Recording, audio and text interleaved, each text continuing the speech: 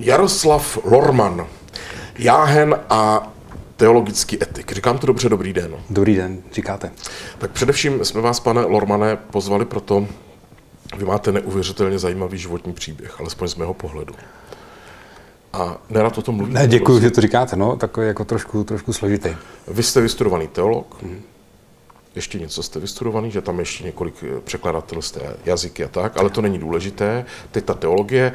Jste muž, který vlastně byl vysvěcen na jáhna, hmm abychom to vysvětlili těm, co to neznají. Tak to je takový to mezi je... stupeň mezi tím být knězem a studentem. Tak to já vnímám. Tak to, tak to bylo v minulosti, eh, dejme tomu v novověku evropským, ale jáhen dneska znamená eh, trvalý jáhen je samostatná jakoby větev. Neznamená to, že ten člověk bude vysvěcen potom na kněze, ale je to, dejme tomu, nejnižší kněžský svěcení. Jo, a to už vám nemůžou vzít. To máte forever prostě to je, to je svěcení nebo svátost, která je trvalá, která je nezničitelná, nezrušitelná, to znamená, to se nedá vzít pryč. Tak navzdory tomu, že jste vystudovaný teolog, tak eh, jste měl manželku kdysi, ano. máte čtyři děti. Ano. A před časem jste otevřeně eh, pohovořil o tom, že jste homosexuál. Ano. Ano, já se usmívám, no, já se usmívám, ale protože o tom, že jsem homosexuál, tak už jsem mluvil ještě vlastně před svatbou, že tam byly takové jako otazníky a potom v průběhu toho manželství několikrát, ale je pravda, že před nějakým rokem a půl, rokem a tři čtvrtě jsme se rozešli s manželkou a tím pádem jsme to museli říct dětem a tím pádem jsme to museli říct rodičům, kamarádu dětí. Tak a teď je ta základní otázka. Víte, pane doktore, já mám pocit, že vy jste jeden z lidí, kterým eh, církev ublížila. Uh, dá no. se to tak říct? Jo, já, ten pocit, jsi... já ten pocit mám taky. No a už jste ale... odpustil? A to je těžká otázka pro mě, opravdu složitá otázka, protože já vidím, že ten vztah k církvi, čo, ten vztah církvi prochází nějakou, nějakým vývojem. A ono je těžké mluvit o vztahu k církvi, protože církev je rozmanitá. V církvi je spousta lidí, kteří mě a ani mojí ženě a dětem vůbec nijak neublížili, naopak jsou nám blízko, podporují nás a tak dál. Ale v církvi samozřejmě je i spousta lidí, a zvlášť teda v hierarchii, kteří se zachovali prostě mm, špatně, nebo jako svinsky bych řekl, jestli můžu použít to slovo.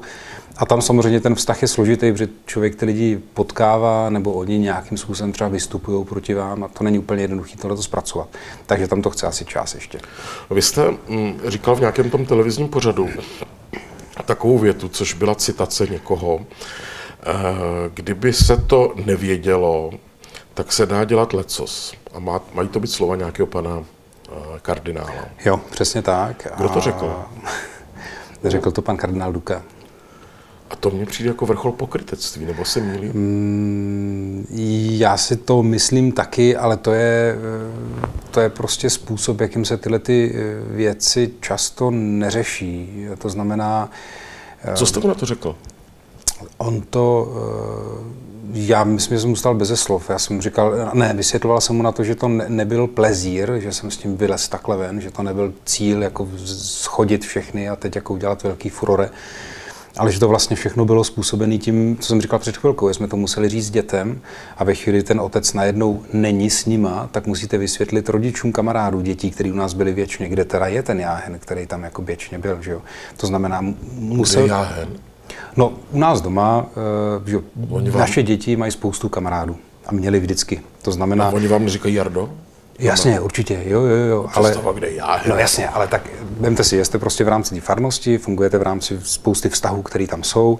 Eh, děti vám chodí od jiných rodičů, z jiných rodin vám chodí domů, přespávají, všechno prostě možný, jo, a teď najednou ten, ten otec té rodiny není no tak musíte vysvětlit, co se vlastně stalo. Že jo? To znamená, musíte těm lidem, kteří jsou kolem říct, hele, eh, my jsme se rozešli a tak dále. To znamená, pokud to takhle chcete říct, tak musíte říct taky důvod, proč se vlastně tato změna stala.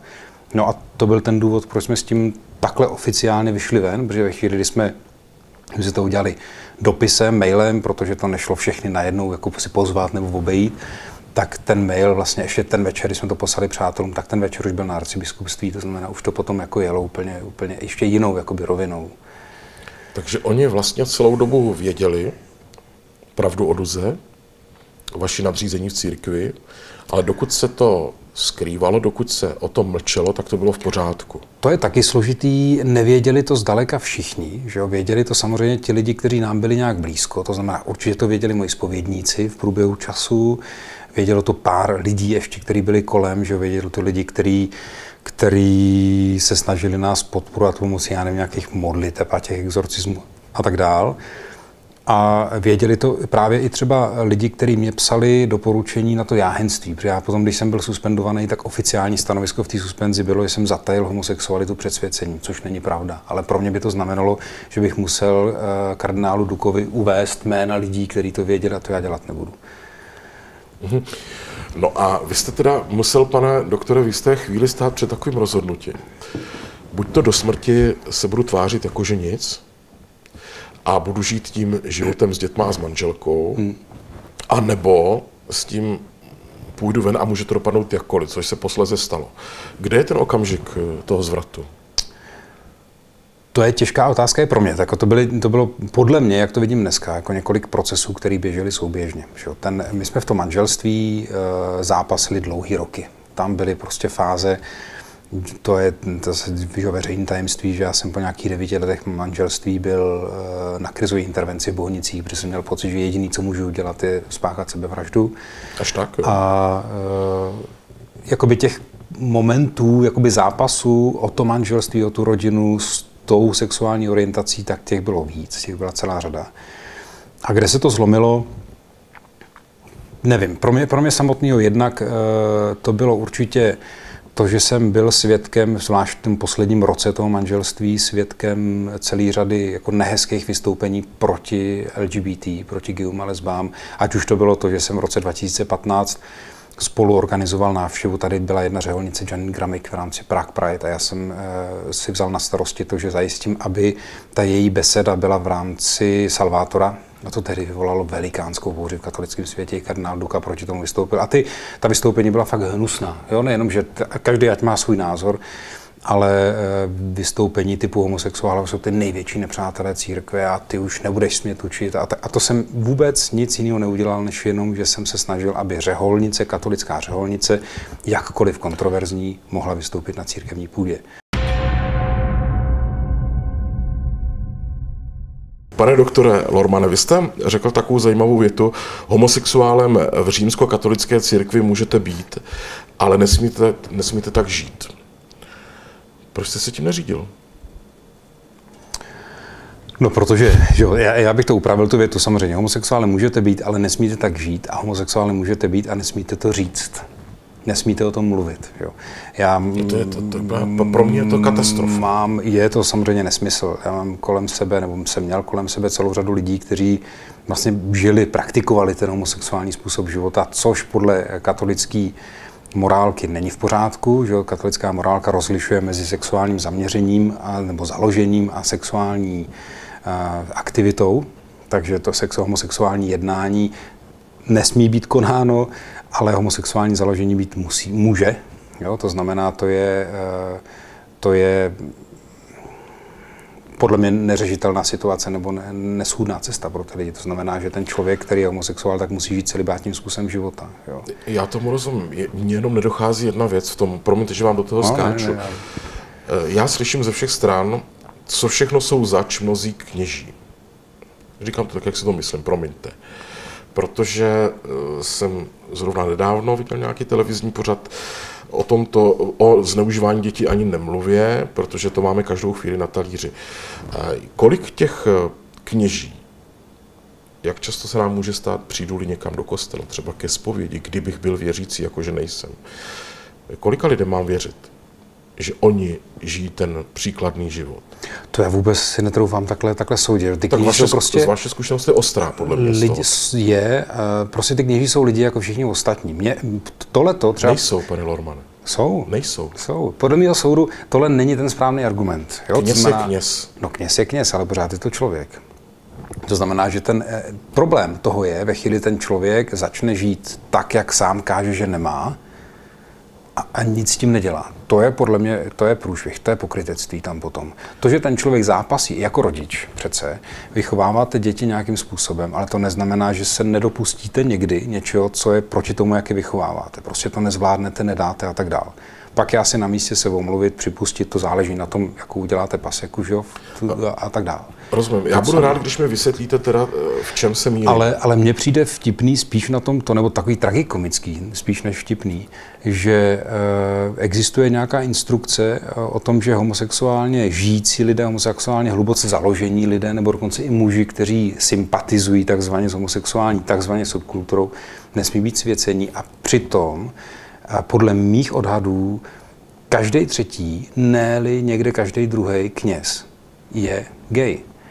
Každý třetí, o tom jsem přesvědčený v celku jistě, a ty výzkumy i ze západu, eh, ze Spojených států i z Německa ukazují, že skutečně 40 a někde až 60 eh, Křištof Karamsa, což je vatikánský vlastně teolog, který byl sekretářem Kongregace pro nauku víry za Benedikta a teď za Františka, vyautoval se, je to asi taky roka půl, tak ten říká, že... Autoval se to prostě. No prostě řekl oficiálně, že je gay, že má přítele a tak dál samozřejmě skončil okamžitě, tak ten říká ve Vatikánu každý druhý je, je gay z kněží. To znamená, to je společenství, který má geje ve svém středu. Ty gejové ne všichni žijou hnusným způsobem života. Já myslím, že spousta gejů v církvi dělá dobrý, dobrou práci se snaží nějakým způsobem ten celibát žít a tak dál, ale proč se pro pána krále tvářit, že tyhle ty lidi nesmějí být v našem středu, že tyhle ty lidi nesmějí být svěcený, že ty lidi nemají těm druhým co dát, že jsou nějakým způsobem citově nedozrálí, že, že ubližují, že antropologicky není možný,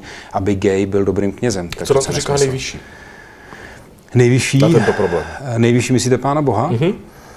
Uh, mýho pána Boha. Můj pán Bůh, když se podívám do textu písma, tak o homosexualitě jako takový vůbec nemluví. Ježíš o homosexualitě neřekl ani slovo. Notábene ten koncept homosexuality jako nějakého trvalého založení člověka, to je na světě nějakých 150 let, to znamená, to vůbec se biblických textů netýká. Samozřejmě se v biblických textech nachází celá řada mm, různých posudků na sexuální jednání. Jak někdo je vykládá různý. ty biblické texty? Určitě, no samozřejmě. Něco tam... Jasně, jasně, to se... Jo, to, to jsou prostě věci, kdy se dostáváme na určitý, na určitý kraj, kde se prověřuje teologické myšlení. No, jestliže je v textech starého zákona nebo nového zákona odsouzený pohlavní spojení mezi mužem a mužem nebo mezi ženou a ženou, tak je otázka, jestli to budu interpretovat tak, že tedy člověk, který je homosexuál a žije v partnerství s druhým stejn, stejným člověkem stejného pohlaví, jestli tohle je nedovolený. A nebo jestli to znamená, což většina vykladačů jasně ukazuje, že se to týká nějakých rituálních jiných kultů, než bylo židovství a než bylo křesťanství. A vlastně v pozadí zatím se skrývá, co vlastně chci, jak tu otázku kladu. Co chci najít? Tomu já rozumím. Ale ještě mi prosím vysvětlete jednu věc. Vy říkáte, že kněz je člověk jako každý jiný a tom, no, na tom trváte. No jasně. No určitě. Ale tak já kdybych byl vysvěcen na kněze, tak odezdám svůj život Bohu. Teď no, to tam říkáte? Ten, ten, Jsem už někdo jiný? Ne, to tam nikdo neříká, ale to, že odezdáte svůj život Bohu, na to nemusí být, ne, nemusí být vysvěcený jak kněze. Že to vlastně každý křesťan, každý člověk, který... Odezdává život Bohu. No jasně. A když slibuji věrnost třeba nějakému řádu? Tak tam je ještě jiná věc, že vy slibujete poslušnost někomu, nějaký autoritě, tady v tom, tom případě lidské autoritě, tak to je samozřejmě další závazek to k tomu. No to je závazek k tomu, že já jsem taky svým manželce slíbil věrnost, že z ní zůstanu až do, do smrti. Jste nesplnil. Marná slava, no nesplnil samozřejmě. A už vám bylo odpuštěno v tomto? Tak na to můžu spolíhat u Pána Boha tak, jako znám, že prostě odpouští, ale samozřejmě tohle je určitý... samozřejmě je to určitý zářez na pažbě. Dobře, eh, řekněme, že tak, jak ho znám, myslím jako metaforu. Z vyprávění ho znám. Z vyprávění ho znám, ale tak jako i nějaký zkušenosti duchovní člověk v svém životě udělal. Že jo? Ale samozřejmě je to otázka hodně interpretační, jak si vykládáte ty věci, které prožíváte. tedy, uh, protože já vás vidím do jisté míry, pane doktore Lormane, jako něco jako Jana Husa, jo? Vy jste takový ne, jako, ne, ne, to, eh, mírně... To si myslím, že ne. Ne, mně se nelíbí, jak se ta církev k vám Dobře, zachovala a šel mě, bych na barikády za mě vás. taky ne, ale já si myslím, že tam je spíš jako větší problém toho, jak se chová k dalším lidem. Jo? U mě já chápu, že u mě je to ožehavý, to je ta rodina, to je ta žena, to jsou ty děti a to samozřejmě člověk potom vidí rudě, protože ta potřeba chránit děti je pochopitelná, mm-hmm. naprosto. Že? A no ale taky... tam není problém u vás, ne? Vy děti chráníte. No jo, ale samozřejmě si prožili svoje a prožívají si svoje, že nějaký zranění, ztráta jistoty a tak dále. To tam je, to taky bylo to nejtěžší v tom celém rozhodování. Jo, že člověk nechtěl ublížit těm dětem, chtěl tu rodinu udržet stůj, co stůj. Takže tohle to chápu, ale pak máte celou řadu lidí, kteří nic takového nemají. Máte kněze, který jenom řek, pravda, neúplně šťastně, ale řekl skazatelný, že je gay, okamžitě byl odstavený, okamžitě byl poslaný mimo republiku, zakázaný mu sociální vazby, Facebook, všechno, prostě ten kluk se pokusil o sebevraždu, kterou teda přežil. A to je, to je problém, protože tady církev říká jasně, že být gayem není problém, problém je žít jako gay, jak, jakkoliv si můžeme myslet, že to je nesplnitelný, že to je nesmysl. A normálně pro následuje no, je to člověka... Je Brno samozřejmě. No jasně, ale pro následuje člověka, který nic takového nedělá, jenom to veřejně řek. Mám, máte příklady lajků, lidí, kteří jenom pracují v církevním prostoru, třeba jako recepční a tak dále. Ve chvíli ten, ten člověk se objeví jako homosexuál a najde si třeba trvalý partnerství, což je přece super, to je prostě hodnota velká, že sexualita podle církevního učení patří do vztahu, já si to myslím taky, ano. Tak ho propustí, vyhodí toho člověka. Počkejte, a vy eh, tedy, když jste to formuloval tak, že vaším odhadem, vašima očima je každý třetí kněz gay, gay hmm. tak eh, kolik, jaké procento, nebo co říká vaše zkušenost, pane Lormane, eh, praktikující gay, nebo gay, který to skrývá a žije, dodržuje ten celibát? Tohle se strašně těžko posuzuje. Opravdu, je, čestně. Jo, to se opravdu těžko, že jste se setkal těžko, s oběma no, jasně, typy. setkal jsem se že, na fakultě, kdy, kdy, byl, kdy byl kněz gay, který, který o mě usiloval, ať jsem měl rodinu nebo ne, prostě neustále návrhy, abych s ním někam šel, jel a tak dál řadu kněží člověk potkal, já nevím, v gay sauně, že jo, chodili tam pravidelně, měli tam prostě svoje vazby sociální a tak dál. Já jsem v gay sauně nikoho nepotkal, jsem tam ještě nebyl. No, tak to vám blahopřeju. No to tam musíte asi jít, abyste tam někoho potkal, ne? To tam musíte jít, ale samozřejmě jasně, no. No, ano. Běžte se tam podívat, jestli chcete. Já myslím, že o nic nepřicházíte. No ne, já se stydím, abych tam chodil na haty, víte, to je ten problém. Jinak, jinak bych tam šel třeba. Okay. No, takže oni jsou tam a tam to, že je v gay sauně, ještě neznamená, že je praktikující homosexuál. To ještě se nic neděje. No dobře, tak já myslím, že nepraktikující homosexuál do gay sauny asi nikdy nepůjde. Tak počkejte, tam se přece neděje nic jiného, než to, co se děje v ostatních saunách. Ne, to se neděje. Gay sauna je prostě místo, kde, kde se lidi scházejí proto, aby spolu měli sex. Proč je to teda sauna? Protože tam je taky k tomu sauna. Je tam temno, je tam pára, je tam a tak dále. To počkejte, tomu to opravdu úplně nerozumím. Přece k tomu, aby měl někdo sex, nepotřebuje saunu. Nepotřebuje, ale tohle jsou místa, kam velmi často chodí lidi, kteří jsou ženatí, kteří mají nějaké závazky, kněží a tak dále. A oni jdou jako ze sportovních důvodů třeba. A je to relaxač. prostě takový wellness. Tak už Byly doby, kdy jsem taky netušil, že něco takového existuje. Co to přesně znamená, pane doktore, že jste teologický etik? To je dobrý switch teď tady z tohoto tématu. Teologický etik znamená, že jsem vystudoval teologickou etiku. Etika jako filozofická disciplína, že, která se zabývá otázkami toho, co je dobré, co by se mělo, co se má, co člověk by chtěl dělat, jak posoudit to, co je dobré od toho, co je špatný. A je teologická... etické chodit pro, pro, pro uh, kněze je etické chodit do gay sauny? A stejně tak jako pro mě, ne. Není to etické? Ne, rozhodně, ne, rozhodně to není eticky v pořádku, to prostě je špatně. Takže mají nějaká omezení, jakousi etiku, tak jak lékaři mají Jistě, etiku. No samozřejmě, jako, jako kněz. A na to vy jste odborní, na tu etiku? Teoreticky. Mhm. Jako, jako kněz se zavazuje k tomu, že bude dodržovat celibát. Já jako manžel jsem se zavázal k tomu, že budu věrný. To jsem nebyl schopný splnit, protože jsem prostě toužil bytostně po něčem jiném. Že jo? A to není nic, eh, s čím bych šel do světa a říkal bych, to je super, takhle se to má. Vůbec ne. Víte, co oni si, pane doktore, u vás v té vaší povedené církvi myslej? Je vám to jasný? No, vy jste etik a oni říkají určitě, ten Lorman, ten je tady u nás koza zahradníkem.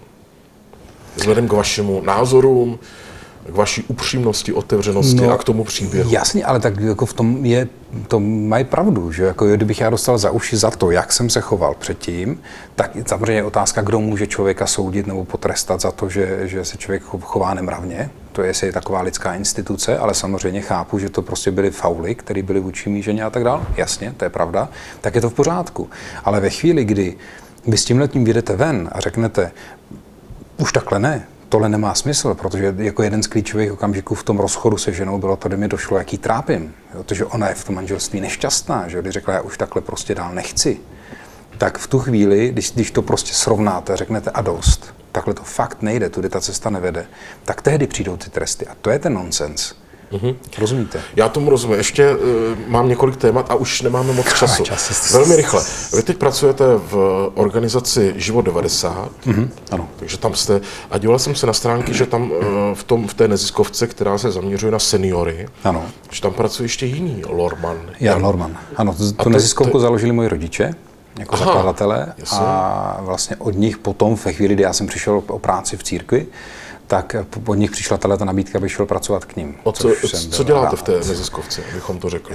Já dělám manažera sociálních služeb a zástupce ředitele teď manažer sociálních služeb. To znamená, tak, jasně, zní to, zní to zvláštně. Zletně. My máme šest, máme šest sociálních služeb a já mám na starosti jejich, jejich koordinaci vlastně. A zároveň e, projekt na proměnu právě marketingu a PR a finančního řízení a prostě těch věcí, které jsem který, který prostě musí předělat a který se zároveň... To je tak znešené, pane doktore. Velmi znešené. Co prosím vás děláte? Přijete do práce, co tam děláte? Co dělám? Tak první věc, kterou udělám, že, že, že zapnu počítač a koordinuju, ano, telefonuju, jednám s lidma. Kdo kam půjde? Na nějaké sociální služby a to nevím, co je přesně. Jasně, no tak já nevím, třeba máme linku důvěry, že nepřetržitou linku důvěry. To znamená, teď jsem před chvílí, jsem šel sem, tak jsem seděl s vedoucí linky důvěry a řešili jsme otázku personálního zajištění a změny konceptu té linky a vykazování statistik a tak dále. Třeba.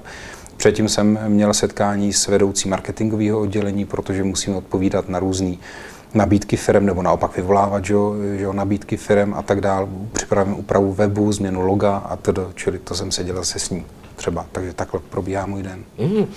No a ještě poslední věc, která mě mimořádně zajímá, jak je váš aktuální teď vztah k vaší e, církvi? Aktuální vztah k církvi? Opatrný já, já už jsem to říkal v tom jenom rozhovoru jste? pro českou televizi, je to, je to proces. Já opravdu mám problém někoho do té církve přivíst. Mám kolem sebe pár lidí, kteří prožívají jako coming out, co to křesťaní, a je mi jich strašně líto. A vyloženě se, je mi líto každého dítěte v katolické rodině, který by prožívalo to, že je sexuálně nějak jinak než čistě heterosexuálně, protože to je velký utrpení. Váš vztah s Bohem to nenarušilo? Ne, ale musím říct, že oni zápasím že jako ty pocity viny vůči dětem a vůči ženě jsou hodně silný, to znamená, já si musím jakoby tohleto projít a postupně jako nějakým způsobem zpracovat. Tak Jak si hledá člověk jako vy eh, kněze, ke kterému jde ke zpovědi? To musí být proces, panečku. Je to dobrý proces, on to byl proces už předtím, že jsem byl poměrně známá osobnost. Že jo? Teď je to samozřejmě proces, eh, mám pár lidí kolem sebe, který vím, že, že mě neodsoudí, že budu úplně otevřený. Takže máte takové. Jo, jsou. Jsem chtěl nabídnout, že byste mohl chodit ke mně Jsou právě, že jsou. To je to na tom zase další legrační věc, že každý gay, který je v církvi a zůstane v ní, ale na většina odejde, tak si v hlavě vytvoří takovou topografii eh, vlastně sympatizantů, který v rámci té církve jsou. Že jsou kněží, kteří normálně dávají rozřešení lidem, kteří žijou v eh, homosexuálním partnerství. mapa vytištěná příznivců. Musí se nějak přežít, že jo? Tak Gay friendly. No. no a ještě mi řekněte, pane Lormane, prosím na úplný závěr, jak se díváte vy, co by přesvědčený člověk žijící ve víře, na důsledky vlastně jiné víry v souvislosti třeba s těmi teroristickými útoky. No. Víte, na co se ptám, nebo to říkám blbě? Šroubovaně příliš. Tak ještě jinak. Vy jste věřící člověk. Ano. Oni jsou taky věřící. Ano. A konají v rámci svého mm, Aláha nebo jiných. Jo. Tak co si o tom myslíte, jako člověk, který v tom umí chodit? Víte co? A víc jste etik. Že? No, e, víra je otevřená. Víra je otevřená. To je způsob vidění světa, který ale se nebrání kladení otázek, nebrání se pochybnosti. Když máte systém, který se brání pochybnosti a odmítá jakoukoliv pochybnost, tak je to ideologický systém. A terorismus je plodem ideologie. To není plod islámu. Islám není teroristický náboženství jakýkoliv náboženství ve chvíli, kdy si z něj uděláte ideologický systém, tak bude teroristický. Křesťanství bylo teroristický taky ve své minulosti. A v některých svých eh, projevech, v některých svých aspektech, ve chvíli, kdy se vytvoří skupina uzavřených lidí, kteří jsou zabednění, nejsou schopní připustit nějakou pochybnost, nejsou schopní dialogu s druhým, přemýšlet o tom, proč ten jiný jedná jinak, tak máte terorismus na světě úplně jedno, jestli islámský nebo křesťanský. Mimořádně mě teď láká debata o tom, co je a není ideologie. No. Velmi mě to bavilo, ale náš čas se naplnil, snad přijdete ještě někdy jindy, pane doktore. Děkujeme za to, že jste přišel. Mějte se moc hezky a nashledanou. Děkuji za pozvání. Nashledanou. Naším hostem byl pan Jaroslav Lorman.